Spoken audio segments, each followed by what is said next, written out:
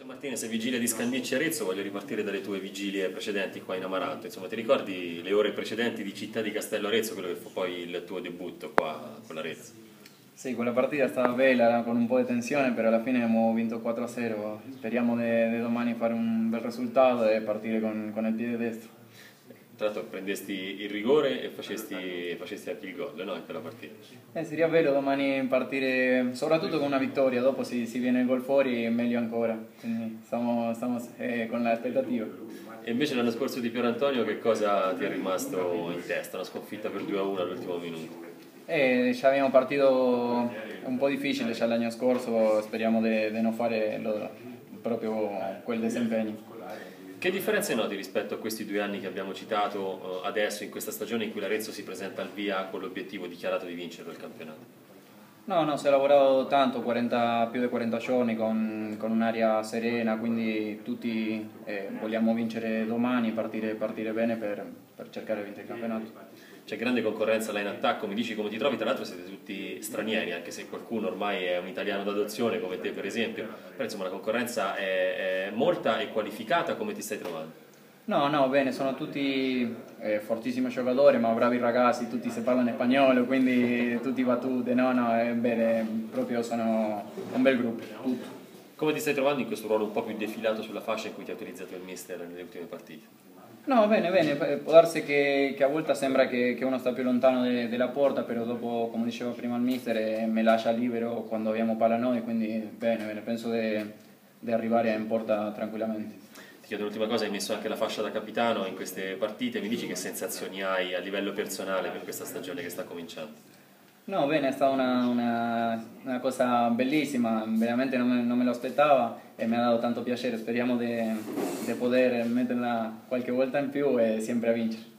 Mister Mezzanotti comincia il campionato a Scandicci, allora manca Mencarelli, manca Rubechini, eh, Carminucci e Diemè ancora sono nel limbo, ma soprattutto la notizia è che su sia un problema al ginocchio, ti chiedo se queste, tutte, tutte, queste assenze ti, ti, preoccupano e nel caso come ovvierai a, a queste mancanze.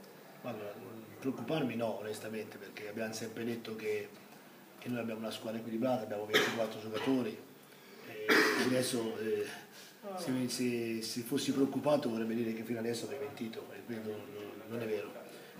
E, su sì è un problemino, niente di particolare, dobbiamo solo valutare domattina con calma se è il caso di, di farlo partire all'inizio o farlo entrare a parte in corso, tutto qua. Perché, è stato informatorio, quindi niente di particolare. Valuteremo bene domani, comunque ci sono pronti subito altri attaccanti, ne abbiamo.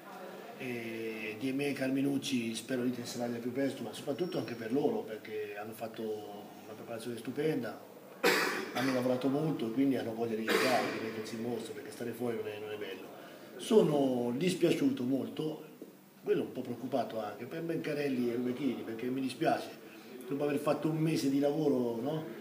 Forsennato dove come antipasto c'era da correre, no? come primo c'era da andare in palestra, adesso che c'era da, da, prendere il dolce, giocare, divertirsi e sono fuori con le stampelle. Questo mi dispiace veramente molto perché sono ragazzi straordinari. Noi la squadra, io dico sempre, noi giochiamo in 11, quando gli 11 che vanno in campo sono tutti, per me, sono tutti all'altezza, all'altezza dell'Arezzo, possono giocare in titolari, quindi non manca nessuno. Lo Scandicci ha tre giocatori squalificati, Brachi è un allenatore molto esperto, ha detto che se la giocherà a viso aperto, eh, ti chiedo se ci credi e che avversario ti, ti aspetti di incontrare domani. Sicuramente l'avversario tosto, perché è una squadra di categoria, è una squadra che ha due attaccanti importanti, secondo me, ha un ottimo centrocampista centrale, è una squadra tosta. Poi Brachi, io l'ho detto anche prima, secondo me è un ottimo allenatore, un allenatore che tira fuori il massimo per i giocatori è anche sanguigno come piacciono a me, no? quelli che ci, ci guardano negli occhi. E non lo so, ti dico la verità, se giocherà a viso aperto si, se si difenderà. Credo che eh, dovrebbe essere anche no? merito o colpa nostra di come gioca lo Scandicci, questo penso sia importante. Voglio pensare all'Arezzo, voglio pensare a noi quello che dobbiamo fare. Se noi saremo bravi e li costringeremo a abbassarsi, si abbasseranno.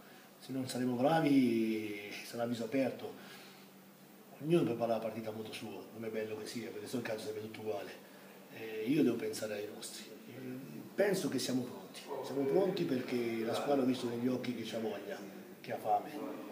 E l'unica cosa che dobbiamo fare è rispettare lo Scandicci, come è giusto che sia, perché questo campionato è un campionato difficile, difficile, ripeto, l'anno scorso questo girone al novantesimo non si sapeva né chi andava ai playout né chi aveva vinto il campionato.